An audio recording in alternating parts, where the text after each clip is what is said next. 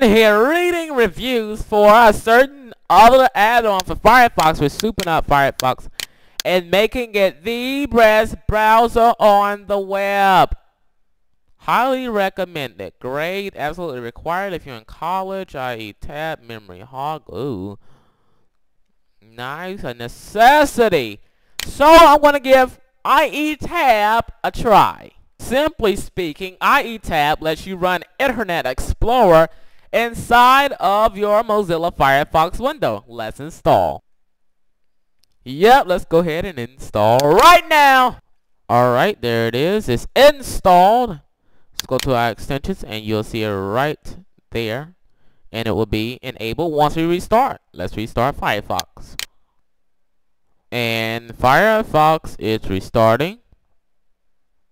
Now let's try it out. And I'm telling you, this thing's amazing.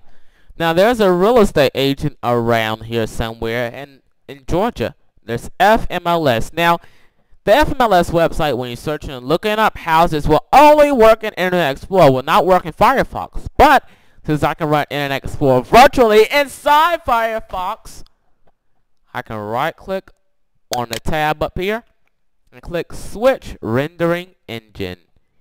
Look, right up here you see the Internet Explorer icon. This, all, as far as this software is concerned, it is running in Internet Explorer. Now I'm going to click this first connection button and it only works in Internet Explorer. Keep this in mind.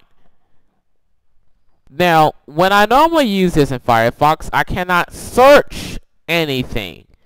Let's do an Atlanta search. Now, or, normally over here, these links are not clickable. Let's click it and see what happens. Aha! It works! Well, I obviously it didn't work, but not because it's because I spelled something wrong. Well, that's the county. Atlanta's not a county. It's a city. That's why. But if I were to type Atlanta in the city, the point is you wouldn't be able to search anything in Firefox. You know why? Look, 7,175 properties. You know why? Because that little button that I clicked wouldn't be searchable. Ooh, $19 million. My God. Wow, that's a nice $19 million house. Ooh, look at the $19 million house. Okay, that's, that's, that's not what I want you to know.